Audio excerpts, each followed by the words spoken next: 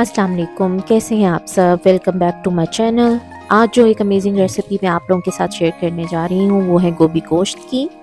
उसके लिए आपने दो मीडियम साइज़ की प्याज लेकर तो उनको चॉप कर लेना है।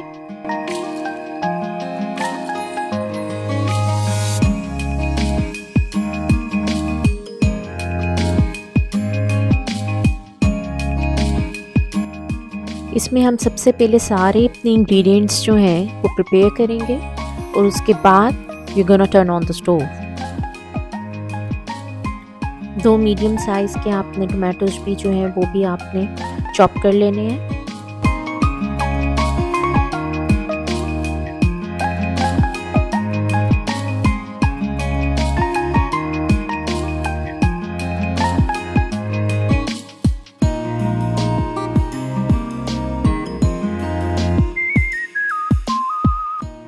इसके बाद आप मटन ऐड कर दें और इसमें एक ग्लास पानी ऐड कर दें और हमेशा मैं अपने खानों में गर्म पानी यूज़ करती हूँ।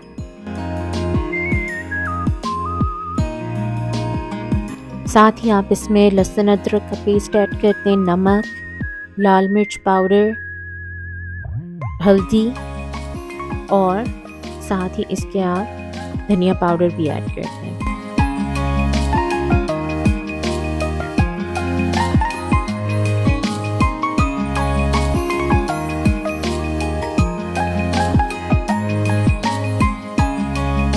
इसके बाद मैं इसको for 45 minutes on low flame में इसको पकने दूँगी और तब तक हम, हमारा मटन जो है वो बहुत अच्छे से गल जाएगा।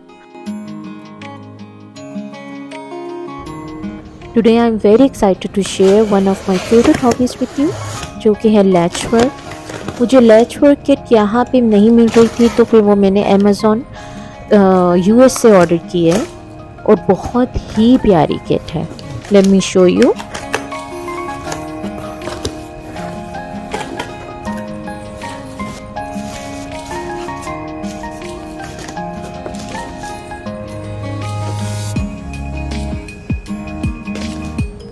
इसकी जो सबसे इंटरेस्टिंग बात है इस किट की, वो ये है कि जो वूल है, वो इसके साथ ऑलरेडी कटी हुई आई है। और ये बेस्ट बात थी इसकी, इस वजह से मैंने ये परचेज़ की है। नहीं तो मुझे याद है कि कॉलेज लाइफ में हम काट काट कर पागल हो जाते थे। साथ ही इसके लैच हुक निडल भी है, जो कि मुझे कोई इतनी ज़्यादा पसंद नहीं आई है और वो मैं अपनी ही यूज़ करूँगी। किट का पैटर्न भी बहुत ही प्यारा था और इसीलिए मैंने ये ऑर्डर किया, क्योंकि मुझे लेडी वर्क्स बहुत पसंद है। और ये ऑलरेडी उसके ऊपर ड्रॉ हुआ हुआ है। अपनी रेसिपी को भी हम नहीं भूलेंगे, वो भी हम साथ साथ कंटिन्यू करेंगे। अब टाइम है कि हम गोभी को काट लें। इसका जितना भी ग्रीन पार्ट है, वो हम उतार देंगे। वो खाने में नहीं डलेगा।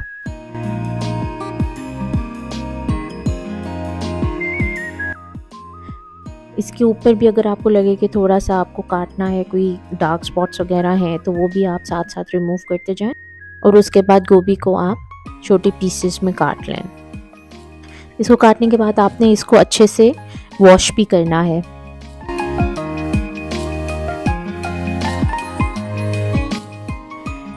इस पॉइंट पर हमारा जो मटन है वो बहुत अच्छे से गल चुका है। इसके अंदर अब आपने ऑयल ऐड करके इसकी भुनाई बहुत अच्छे से करनी है कि अगर कोई स्मेल या कुछ हो तो वो भी ख़त्म हो जाए।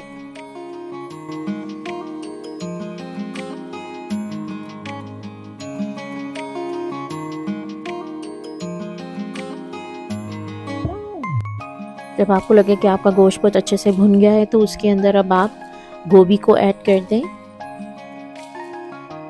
गोभी को ऐड करने के बाद आपने इसको लो फ्लेम पर for almost half an hour और आप इसको पकाएँगे तो ये गोभी हमारी बहुत अच्छे से गल जाएगी और रेडी हो जाएगी। यहाँ पे देखिए हमारी गोभी बिल्कुल रेडी है और इसके ऊपर आप आप ग्रीन चिलीज गरम मसाला और हरा धनिया ऐड कर दें।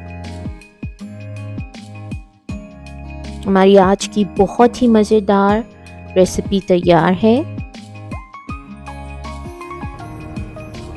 चलें जी, अब आप अपना लैच वर्क स्टार्ट करते हैं। सबसे पहले मैं फ्लावर पेटल से स्टार्ट करूँगी वाइट कलर में। और ये लूप फॉर्म में बनता जाता है, आपको हाथ से इसका एक लूप बनाना होता है और फिर आप निडल से इससे बनाते हैं। ये मेरी लैच नेडल कोई ऑलमोस्ट आई थिंक 18 या 19 इयर्स पुरानी है। और ये आज तक मेरे पास है तो मुझे, और ये मुझे बहुत पसंद है। हॉबीज़ जो हैं वो बहुत इंपॉर्टेंट रोल प्ले करती हैं हमारी लाइफ में। हम लोगों को बहुत से स्ट्रेस और डिप्रेशन से दूर रखती हैं तो इस वजह से ये लाइफ में ज़रूर होनी चाहिए। मेरी फैमिली में डिफरेंट लोगों की डिफरेंट हॉबीज़ हैं। जैसे कि मेरी बहनों को क्रोशटिंग बहुत पसंद है और निटिंग भी बहुत करती हैं वो। इसी तरह एम्ब्रॉयड्री भी बहुत अच्छी करती हैं। और रिसेंटली अभी एक जो मेरी बड़ी बाजी हैं, उनकी लिस्ट में तो कैलीग्राफी ऐड हो चुकी है तो वो बहुत खूबसूरत कैलीग्राफी करती हैं।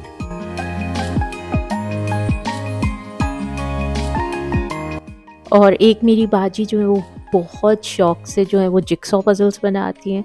तो मेरी तो जब भी उनसे फ़ोन पर बात होती है तो मैं पूछूँगी कि आप क्या कर रहे हो? तो मुझे जवाब आता है, मैं तो पजल्स बना रही हूँ बैठ कर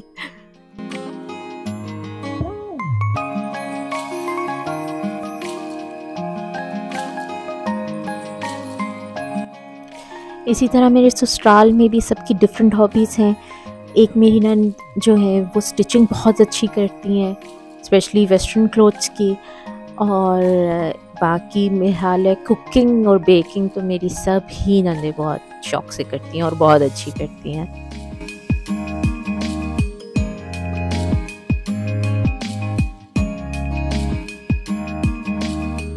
लेकिन जो अम्मी है मेरी सास, वो सबका एक कॉम्बिनेशन है। वो कुकिंग भी बहुत अच्छी करती हैं निटिंग बहुत अच्छी करती हैं, वो क्रोशटिंग बहुत अच्छी करती है, वो स्टिचिंग भी बहुत अच्छी करती हैं। और वट नॉट मीन्स के मैं जब भी उनसे पूछूँगी तो उनका कुछ ना कुछ प्रोजेक्ट चल ही रहा होता है। कि कभी वो निटिंग कर रही होती है। अच्छा वो गर्मियों में जो है वो एम्ब्रॉयडरी करती हैं। उसमें वो निटिंग नहीं करती। और जब सर्दियाँ जैसे स्टार्ट होती हैं तो अम्मी की सिलाइयाँ निकल आती हैं और अम्मी की निटिंग और क्रोशटिंग स्टार्ट हो जाती है। अम्मी की माशाल्लाह बहुत अच्छी और बहुत ज़्यादा हॉबीज़ हैं। हमेशा आपकी लाइफ में कोई ना कोई हॉबी होनी चाहिए जो कि आपको कंफर्ट दे, आपको रिलैक्स करे। आज तो शायद ये कंप्लीट नहीं हो सकेगा तो इन किसी नेक्स्ट वीडियो में मैं आपको ये पूरा कंप्लीट करके ज़रूर दिखाऊँगी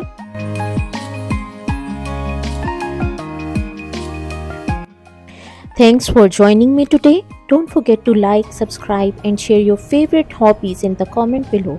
Until next time, keep smiling and keep pursuing your passion. Assalamu alaikum.